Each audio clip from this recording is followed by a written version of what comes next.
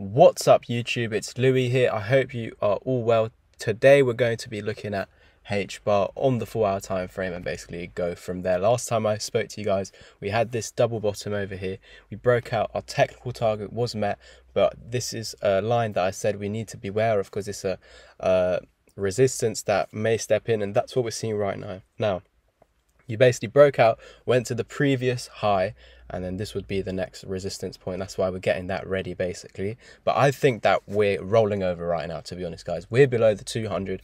We respected that as resistance. We've come down below both of these EMAs, and you've now respected them as resistance. With wicks to the top, it's going to drop, and the resistance, the top being the EMAs, because you're respecting it as resistance. So for me, we're going to continue down. You just like the logic over here where you couldn't break this high. We can use this logic right over here with this high come up multiple times and you failed. Look there and that massive wick. You did come up above all the EMAs, couldn't break this high, tapped it, and then obviously closed below the EMAs to continue this downtrend. And then you put in a lower low, bearish engulfing. So for me, we're on a path downwards now. Yes, we did have this. Uh, sorry, uh, this falling wedge. Now yes, it looked like some sort of double bottom may have formed, but you've now lost that low, put in a lower low, and we need to see where we're going. And the EMAs are telling us the story. So this, because you've lost the support of this falling wedge, it's now invalidated basically. So um, what's going to happen next? You've lost the neckline, and basically we're rolling over down to this swing low. Swing high turns uh, into a swing low. Lose that, you go to the previous swing low. So for me right now, HBAR's on a journey to about the area of 25 cent in and around this this white box slash these two so support points over here. So I'm going to get some fibs out to see in the short term if this is correct. Obviously, we've just come up here. You've come down impulsively, corrected up, and then obviously continuing down now. So I can give you a short-term technical target. You can see that we're going to come down to this 1618. We are holding the one at the moment, but you are below the neckline over here. If you can get above this neckline, confirm its support, chances are we will try and attempt to come back to the EMAs, but I think that you won't break above them. Amazing if it does. We'd need Bitcoin to do that. And I think we can all agree if you've watched today's Bitcoin update, I urge you guys every day to watch my Bitcoin updates because that is what decides the market. And we'll know going forward if you watch the Bitcoin update what is going to happen next with our alts because we're informed on Bitcoin as that decides the fate, the mothership it is. So um, with HBAR, I think yeah, if you lose the support now, we're basically below the resistance, the neckline here. So technically, we should continue down to the one six one eight at twenty six 0.5 cents. Now, of course, the two targets are down here. I do think that if we were to lose this 1618, the two targets will step in very nicely and lining up as confluence with, with this double bottom over here. Now, this is just a short-term fib, though. We need to look at this retracement here. So we've come up, impulsively retraced, and now obviously we're losing that support. I do think that obviously if we're just looking at this, eyeballing it, is roughly at the halfway, like of, of this pump. Like it's probably retraced halfway of this pump already over here, but we'll just double check that. Potentially still above the 618. Yeah, yeah. So we're, yeah, okay, there you go. Exactly. We're at the 050, retrace halfway. If we were to lose the support now, we'll come into the 0618. This is an area that we must hold if we want to see continuation upwards. There's a little hopium there, but of course it's all on Bitcoin. This is a nice candlestick pattern, to be honest, on the four-hour time frame.